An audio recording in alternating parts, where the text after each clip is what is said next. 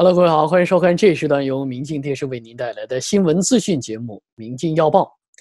年底前关闭所有的孔子学院，中国网民为美国叫好。来自美国之音的报道就说，美国国务卿蓬佩奥星期四的时候在接受媒体采访时就重申，美国将在今年年底关闭美国境内的所有孔子学院。对此，大多数的中国官方媒体以及香港亲中的媒体，星期五，也就是十月六号的时候转载的时候，多以蓬佩奥抹黑、蛮横无理或者是新冷战等一些字眼来抨击美方的这一决策。不过，为数不少的中国网民却表达了和中国官方媒体和官方大相径庭的立场，为美国叫好。其中，部分网民对孔子学院的恶评更甚于美国。爬书中国网民的微博上所发表的一些反对孔子学院的一些意见，为数不少的中国网民首先对中国共产党过往批判孔子，现在却又在全世界普设了五百多所的孔子学院的做法颇有意见。甚至还有文章直指孔子学院是帮助中共的权贵者找工作、办绿卡的腐败无能机构。一位来自黑龙江、署名为“黑川哲顿塔”的中国网民就表示说：“这就是外部力量帮助我们的领导来纠正官僚低效文化输出的方式，节省资源。”他说：“谢谢了。”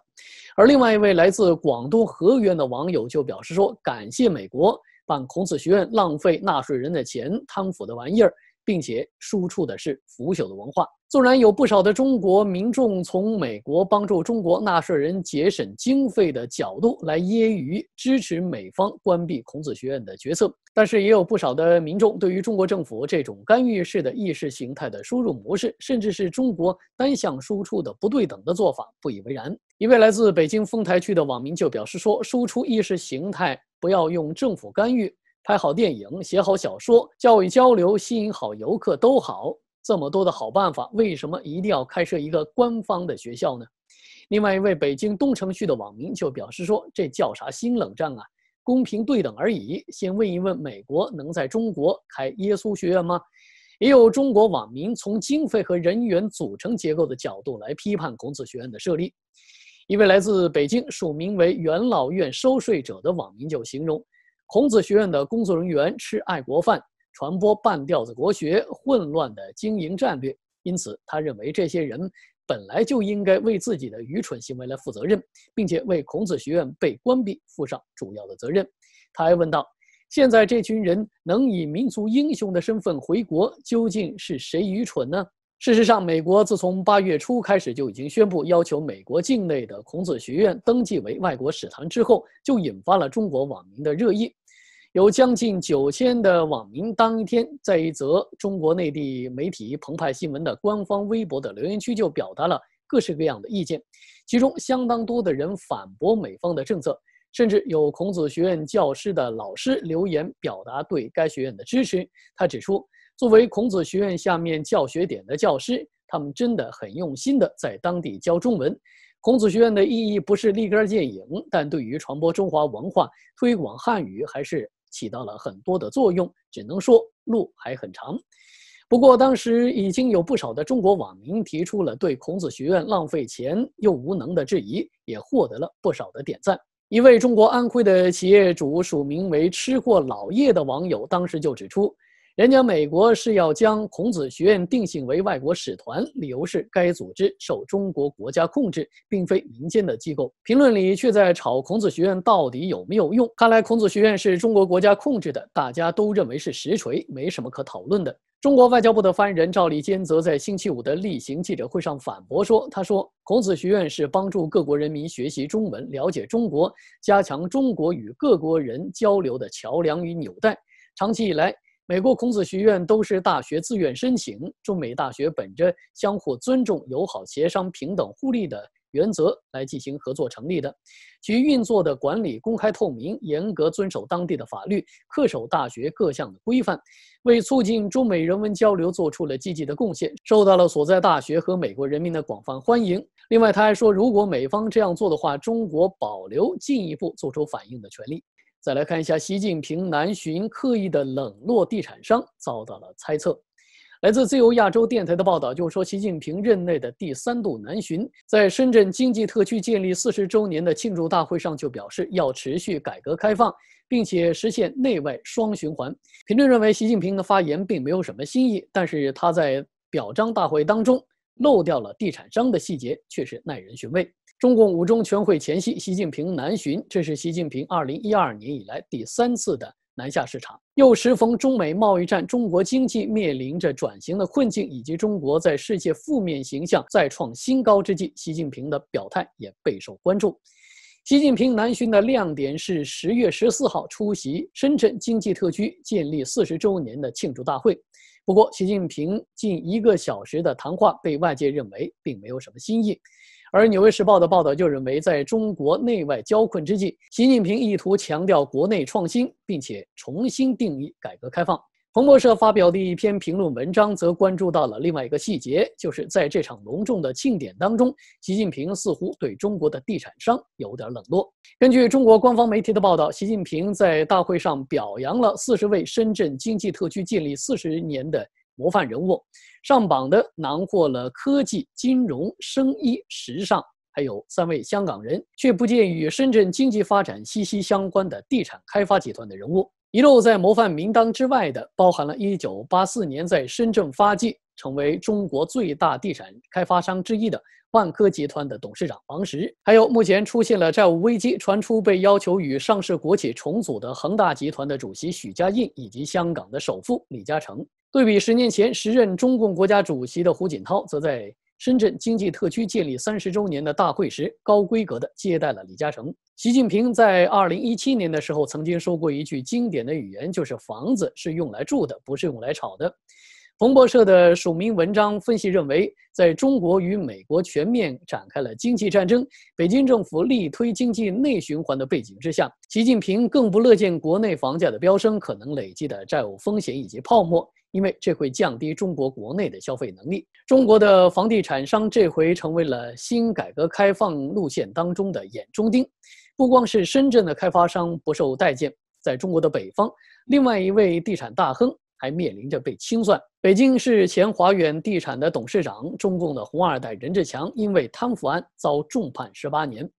任志强的支持者认为，他真正获罪的原因是批评习近平。今年二月份的时候。任志强发表了一篇扒光了衣服、坚持当皇帝的小丑，批评习近平用自我吹捧的伟大功绩来掩盖疫情当中的错误。几个月之后，任志强遭开除党籍，如今身陷囹圄。任志强曾经说过：“这个社会上最缺的不是谎言，而是实话。”NBA 火箭队的莫雷辞职，央视讽刺说：“一路好走。”来自美国之音的报道说，在美国 NBA 休斯顿火箭队的总经理莫雷辞职之后，中共的喉舌央视的 CCTV 星期五就警告表示说，任何企图伤害中国人民情感的言行都要付出代价。央视体育频道发言人还用通常送给逝者的祝福语来讽刺莫雷，并且称希望他一路走好。莫雷辞职的消息成为了中国网络的热搜新闻，中国网友一面倒的叫好，很多人认为这是央视复播 NBA 比赛的交换筹码。不过，中国媒体相对的谨慎，除了指 NBA 在中国全面复苏有望之外，并没有将莫雷辞职的原因与央视复播联系在一起。央视体育频道的发言人十月十六号的上午也只是表示。已经获悉莫雷辞职，对此不做评论，并且表示祝贺史东升职为火箭队的新任总经理。力挺港人要求民主的反送中抗议的莫雷，去年十月四号的时候在推特当中贴出了为自由而战，与香港站在一起。随后，NBA 的总裁亚当肖华表示，中国政府曾经要求 NBA 开除莫雷，被拒绝了。由于莫雷与 NBA 拒绝道歉，央视带头抵制。先停播火箭队的比赛，然后全面的停播 NBA 的赛事。中国的厂商也停止与火箭队的商业赞助。而一年之后的十月十号，央视体育频道突然复播 NBA 的比赛，称之为正常的转播安排。洛杉矶湖人队最终获得了总冠军。随后，二零零七年到二零零八赛季起一直担任休斯顿火箭队的总经理，并且立下了汗马功劳的莫雷，十月十五号的时候宣布从十一月一号开始辞职。四十八岁的莫雷在声明当中没有提及他的推文令 NBA 与中国关系恶化的事情。中国是 NBA 最大的海外盈利市场。NBA 的总裁此前估计，因 NBA 遭中国抵制，联盟损失约四亿美元。中共一向对敢于批评其人权状况的外籍球星或者是艺人进行制裁或者抵制，导致了后者在谈及中国时表现谨慎。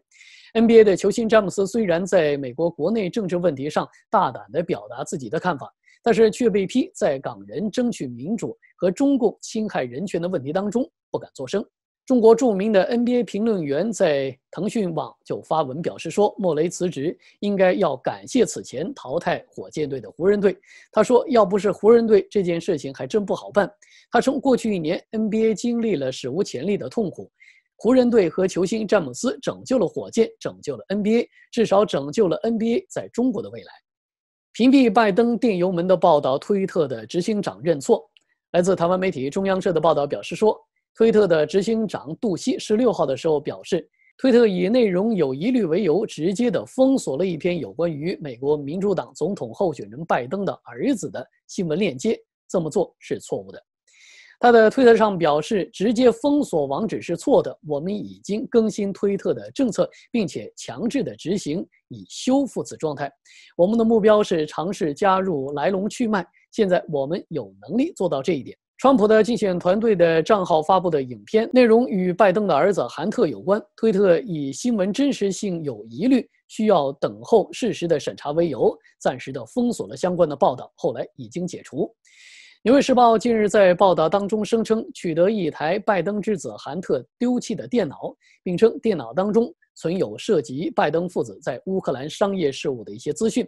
推特发言人昨天稍早的时候表示，基于公司对遭黑资料与张贴私人讯息的相关政策，暂时禁止川普竞选连任账号白宫新闻秘书麦肯内尼和纽约邮报的账号推文。推特政策主管盖德昨晚表示，公司就稍早的举措收回了外界的回应之后，已经决定修改遭黑资料的政策。盖德在推文当中表示：“我们不会再移除遭黑的内容，除非他直接被黑客或者是他的同伙来分享。”消息传出说，日本暂时不参与美国的清网行动。来自日本读卖新闻十六号的报道就透露说，日本已经通知美国，目前暂时不会参加美方将中国企业排除在电信网络之外的一个计划。消息还说，如果存在安全问题的疑虑，美国将采取自己的举措做出应对，同时也将与美国进行合作。日本或称将继续的使用中国企业参加日本的网络建设。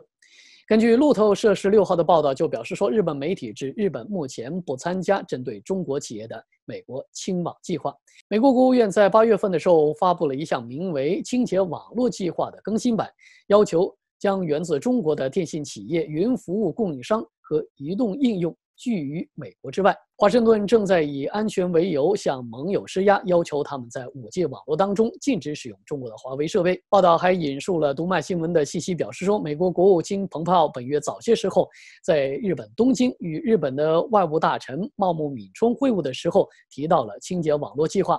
该报表示说，日本告诉美国，东京不能参加排除特定国家的框架，但是如果当前的美国计划有所改变，日本将重新的考虑。